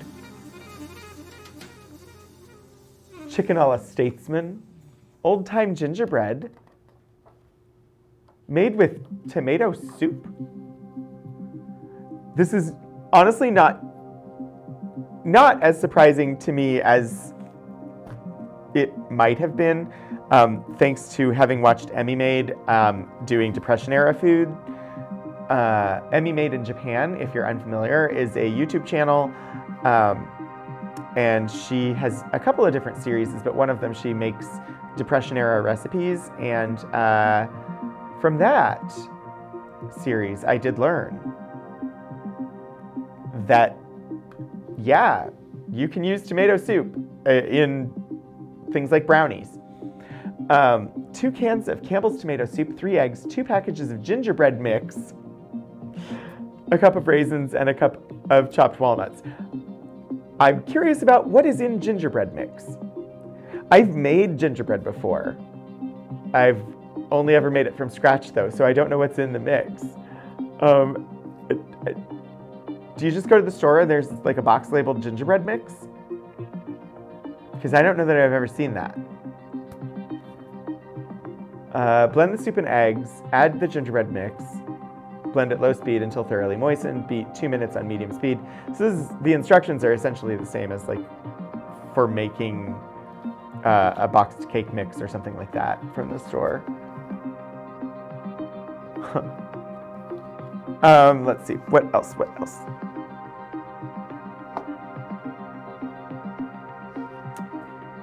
I thought we were further into the stack. Um, we have tramping and trailing with the Girl Scouts Another really gorgeous cover, honestly. I love the silhouettes. The 1932 um, handbook that had the silhouettes on the cover. This this feels really similar. This is also, let's see, what was the year on Tramping and Trailing? 1927. So slightly before. Hi, Blue Rooster. Welcome. The same art style. I think it's great. I love it. I just really love it. Um,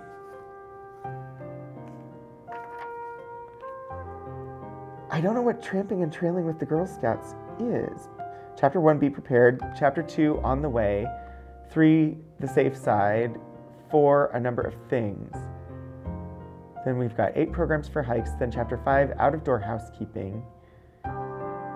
Six, the campfire. Seven, the larder. Eight, the overnight hike. Nine, sing along. The trail in retrospect. I think this is a hiking guide. You just remembered something tangentially related to old timey cooking recipes. You're part of an American Girl Club, like based around the dolls, okay?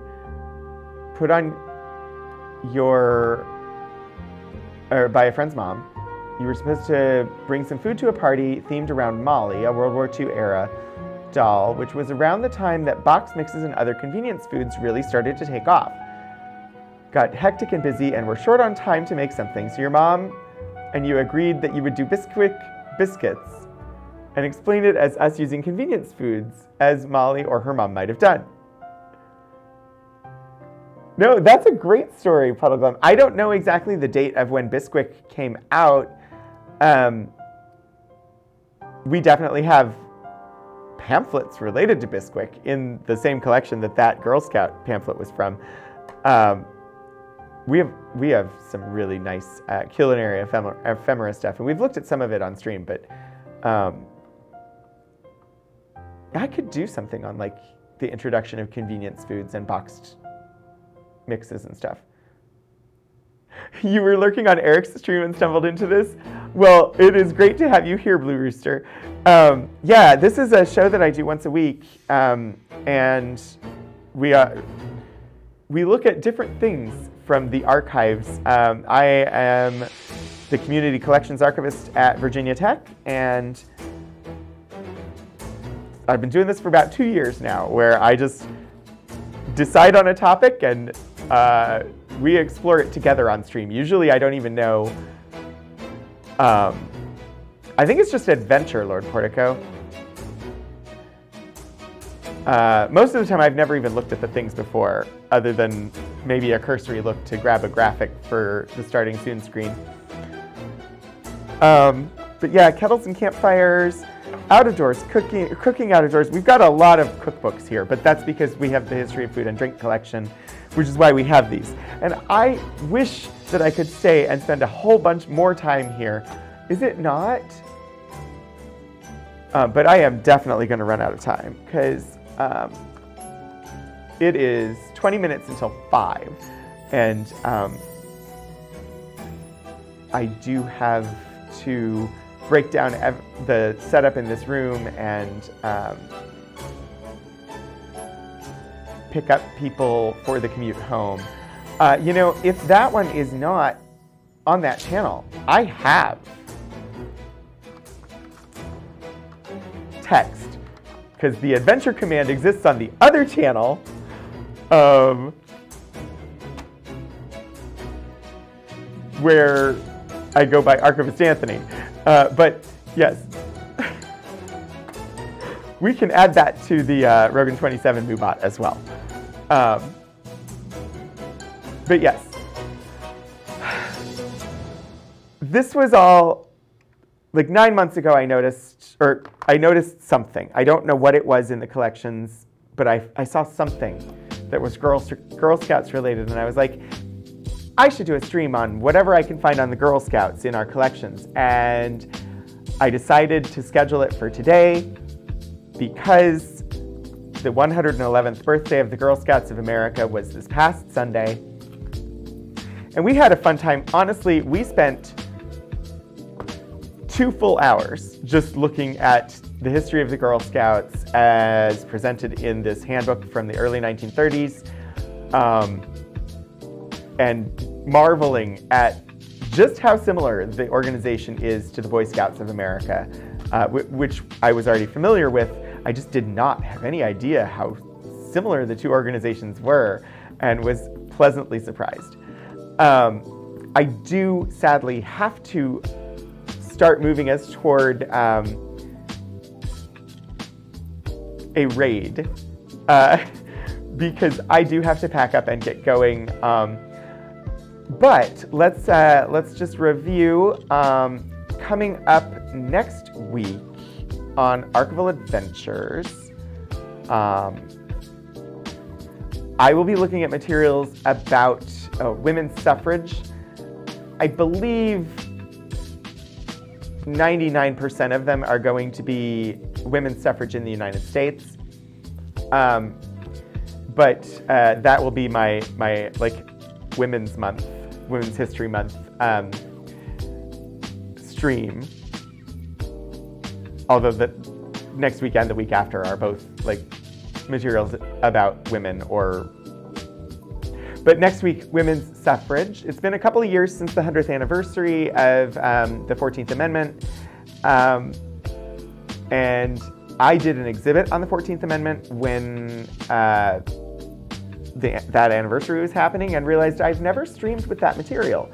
So I pulled uh, the stuff from the exhibit as well as a couple of things that we got since then and those are what I will have here to look at next week. Of course, the week after will be the, the last Wednesday in uh, March, and we will have an episode of the High Energy Physics series. Um, this time, uh, we'll be looking at the Kathleen Cruz collection, which is part of the International Archive of Women in Architecture. It is indeed an architecture collection and I'm pulling it for the high energy physics series. So uh, you'll have to come by and find out why. Um, so yeah, every Wednesday, 2.30 p.m. Um, here on twitch.tv slash VTUL Studios or twitch.tv slash Rogan27. Um, we dive in and look at stuff from the archives. Uh, for anyone who might be in the Blacksburg, Virginia area tomorrow. Uh, the reading room has a special open house tomorrow afternoon from 5.15 till 7.30 p.m. Um, featuring women's stories in the archives as a, a special event for Women's History Month. So if you happen to be in the area in Southwest Virginia and you want to stop by the library um, and just pop into the Special Collections reading room, uh, that event is happening tomorrow. Um, I, I, can point the right direction, I really can. And um, I will update next week as to whether I will be live on the 1st of April for a special um, WUVT 75th anniversary episode, uh, which is a possibility. Um, let me see where we are rating. I don't think... So Stephen is up, which is good. Also, the Monterey Bay Aquarium is live.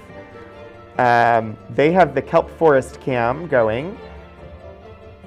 Uh, Stephen playing a game called We Took That Trip, it looks like. Um, those are the two that we typically raid. Uh, any votes? I'm guessing Puddleglum, are you are you voting for rating Steven? Because I'm totally up for that. Or I could I could I could look and see if there's anything else Girl Scouts related. Because that's a possibility. Let me just do a quick check.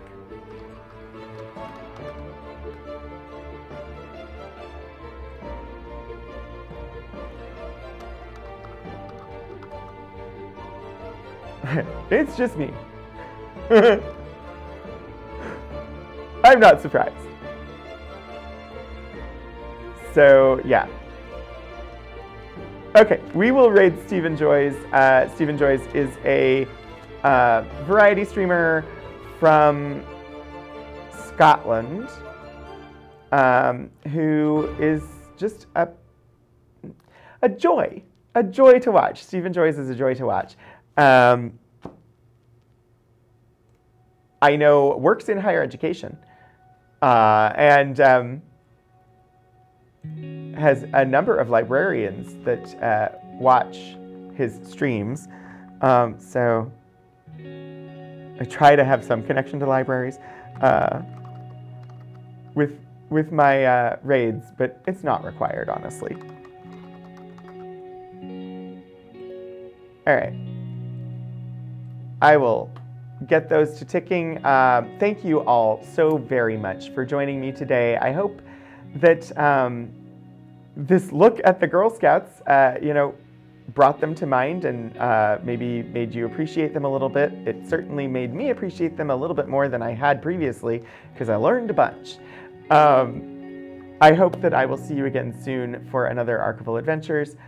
Until I do, keep exploring history.